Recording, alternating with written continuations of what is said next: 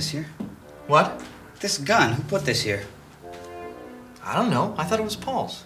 Nope, not mine. Go fish. You're telling me you have no eights? That's impossible. You have to have an eight. You calling me a liar? You want to see my hand? No, Paul, I don't want to see your hand. If we look at each other's hands, there's no point in playing. Then go fish. You guys realize what this means, don't you? What are you talking about? The gun. Gabe, can this wait? We're playing cards. No, this cannot wait. You got any queens? We have a big fucking problem here. Somebody's gonna get shot. Probably pretty soon with this gun. Gabe, Gabe, okay, chill out. What makes you say that? Chill out. I'll tell you one thing, it's not gonna be me chilling out. It's not gonna be me. Dude, dude, Gabe. What makes you think someone's going to get shot? Isn't it obvious? It's a dramatic imperative. I'm assuming there is such a thing as a dramatic imperative. Don't you think it's a little early? And we're still only in the first scene of the film. Don't you guys get it? That makes it worse. If a gun is introduced in the first act of a film, somebody's gonna get shot. If it's introduced in the first scene, this could be a bloodbath. That's complete crap. I mean, who says?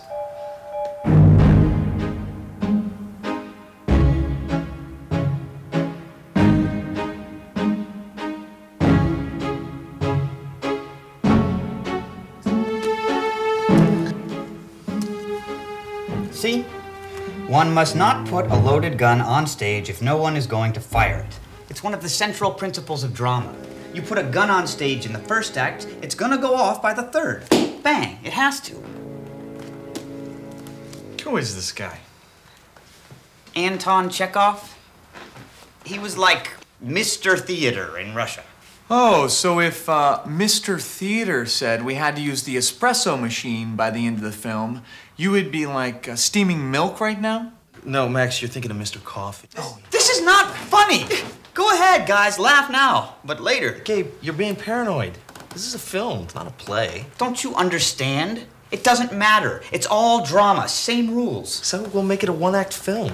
No third act, no problem. Even a one act drama has an internal three act structure. As in a beginning, a middle, and an end. Why do we have to worry about all this structural stuff, Gabe? Let's just act natural, you know? Gritty realism, slice of life. Wake up, man. This isn't real life. This is drama, and you have to know the rules. What difference does it make?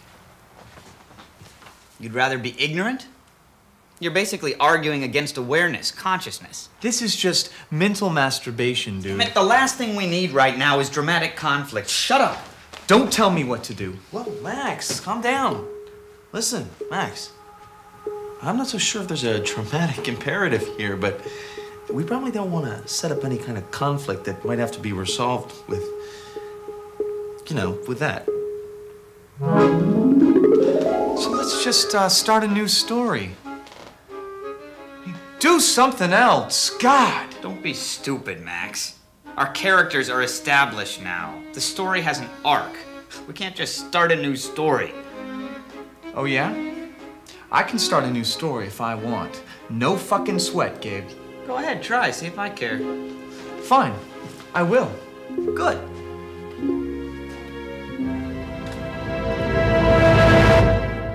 I do not take pride in my skill with prophecies, Cassandra. Yet even I can see the evil in this thing. What good has ever come of prophecies? Pfft, art and a multitude of words drifting through tangled evil bring terror to those who hear. Rule's a rule, Paul. Apollo, why have you brought me here to such sorrow? Except to die. What else could be? You are possessed by God to sing the song of your death. Oh, Fortuna! That's a really depressing, determinist view of fate. I don't buy it.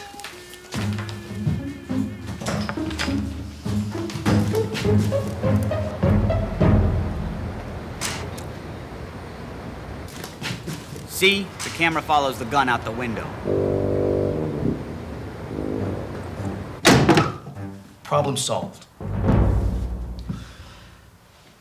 This isn't gonna work, you know. The gun is still the central dramatic element of the film. How do you mean? Well, the appearance of the gun is the most interesting thing that's happened so far. If only there was something else. We were playing cards earlier. We were almost through the whole deck and I had no eights. That's sort of interesting. Let's concentrate on that. Of course. How could I forget?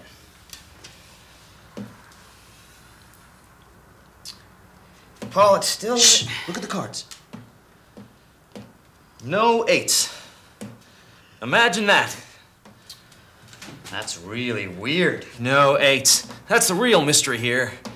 It's symbolic of. Eight is the symbol for infinity. Sideways, at least. And, the fact that it's missing is symbolic of how the three of us are, are, are missing infinity. no, no, yeah, yeah, yeah. Each of us, in our own way, is uh, missing infinity, or the infinite, uh, absolute. Okay, go with this. You were missing. My father. Uh, he, he was never there for me. Uh, he, he'd. Uh... He beat you. or maybe there was um some was dark secret in your No, family. no, no, Yeah. Daddy! Daddy, I want my daddy back!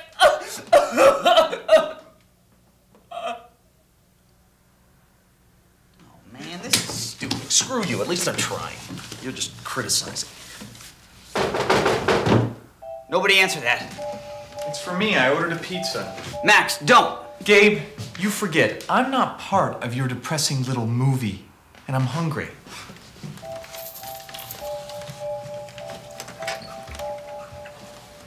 Hey, large pepperoni, extra cheese. Yeah, that's mine. Thanks. Is this your gun? Nope, not ours. Never seen it before. What do you want me to do with it? Some kid could find it. Fine, fine. Yeah, we'll take care of it. All right, thanks.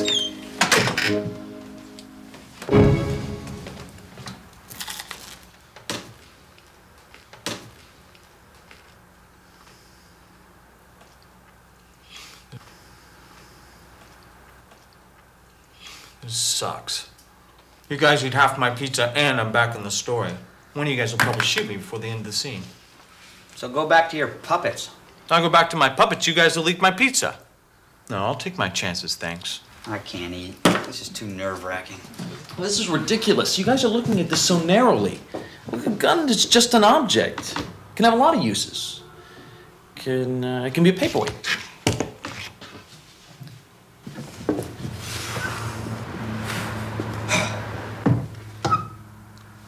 Come on, Paul. A paperweight? Uh, all right, a hammer. Watch this. The gun can be a hammer.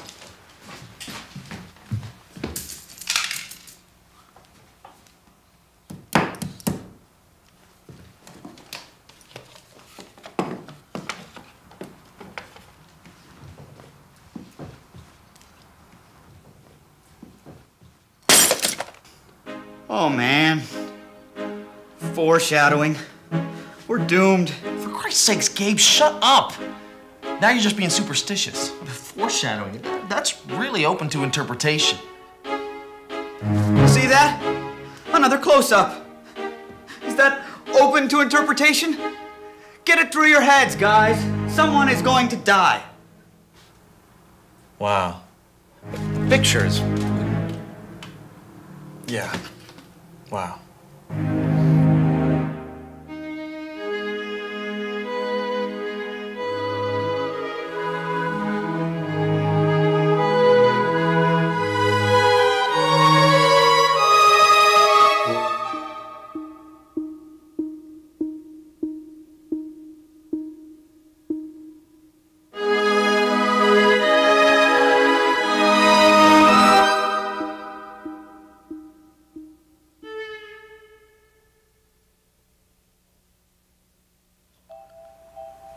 Hey, Paul. It's been a while since you've seen your girlfriend. Why don't you invite her over? Be fun. I Saw her last night, actually. That must seem like a long time to you. Why don't you call her up, have her over? You guys want me to Wait a second. You want her here so she can get shot. Oh, no, no. Yes, Paul, call her. It's the only way out, man. We've got to increase our odds. You guys are sick.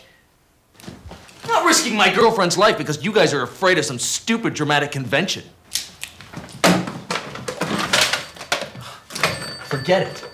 It's not that simple, Paul. This is drama.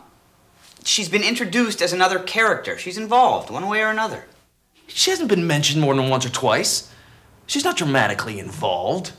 She's just part of my backstory to flesh me out as a character. We haven't even mentioned her name. Oh, really? Your girlfriend, Patty, is such a minor character. Shut up, Gabe. Keep her out of this. Maybe we should ask Max here how well Patty fleshes other people's characters out. After all, he's been sleeping with her. What? Paul, that's a lie. That's ridiculous. Only one way to find out. I wonder who that could be.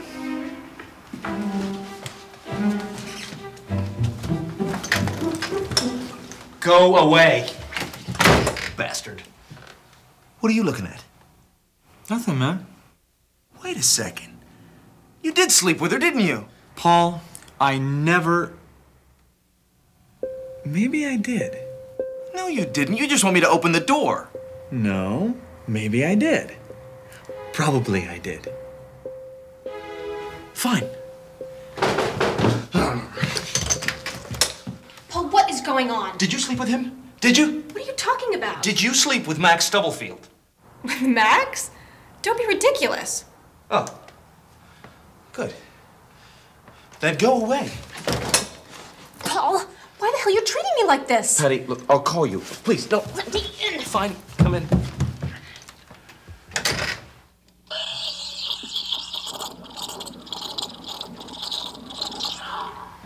Did you try throwing the gun out the window? Yes, yes, of course we tried that.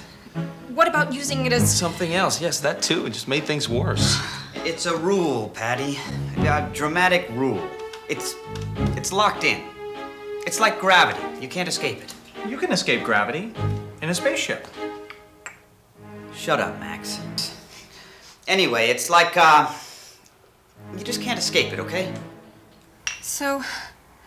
So this is it? One of us has to die for the sake of story structure? Why? Patty, I just. Don't touch me. But. How could you let me in here? But y- the door. Oh, don't give me that. You could have done something. Oh, God. We're not even star-crossed lovers. There's nothing even remotely romantic about dying this way. This is all just some stupid mistake. Patty, I tried. I ripped the phone cord out of the wall. so- Bullshit! You wanted me here, you bastard! After what you said, how could I not come in? Go away? That is practically an invitation to come in. Couldn't you think of anything better than go away? Like, maybe. Patty, I've discovered I'm gay. Please go away, never contact me again. Finito. One hurt reaction shot, and I would have been out of the story. Patty, I thought. Patty doesn't want to hear what you thought or what you tried to do. She just wants to hear that she's not going to die because you won't let her die. Patty, I'm not going to let you die. Ever. Gabe, uh, what do I do? Listen, Paul, I'm sorry. It's nothing. It's nothing personal, but uh, you see, the dramatic focus is on the three of you now, and well, I can't really afford to get involved. Max! Oh, I'm sorry. Gabe! Don't come over my bridge.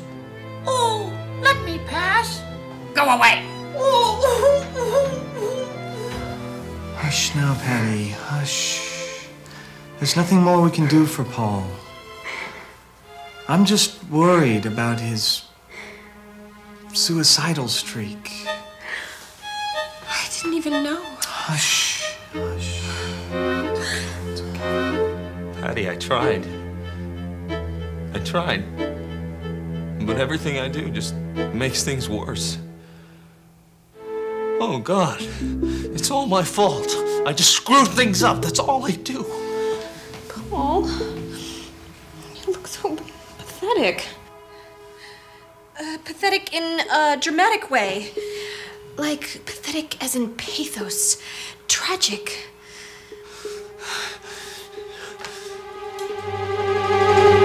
All right, all of you, up against the wall. Paul, don't! Move! Now! Paul, but, Pa- Paul, put, put, Shut up, all of you! Every word you say brings us closer to the end. It didn't have to be this way, you know. Dramatic conventions can be broken. There's no immutable law that says one of us had to die. This could have been a film about peace. This could have been a public service message about gun control. But you had to make it a drama, you structureless bastard! Oh, calm down. You, you traitor bitch! How could you leave me for that idiotic, one-dimensional excuse for a character? After all I did for you, you made me look like a fool! Oh, that's right, cling to him, you faithless whore! You know what? I'm glad you came over. You're the one who should be shot. You're the one!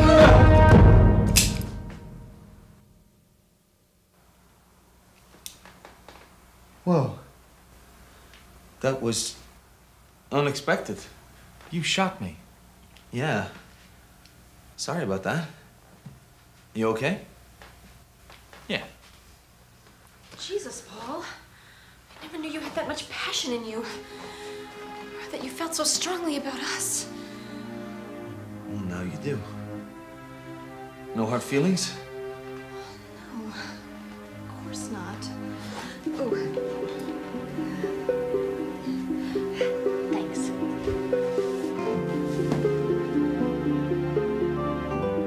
Guys. Guys. You're missing the big picture. Don't you see what just happened?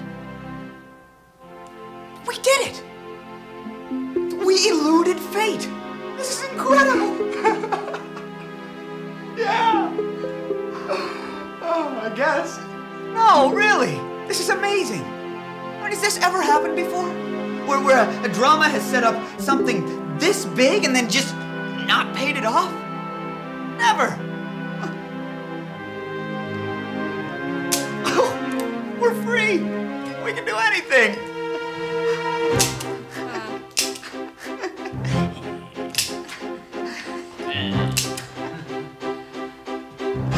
Free at last!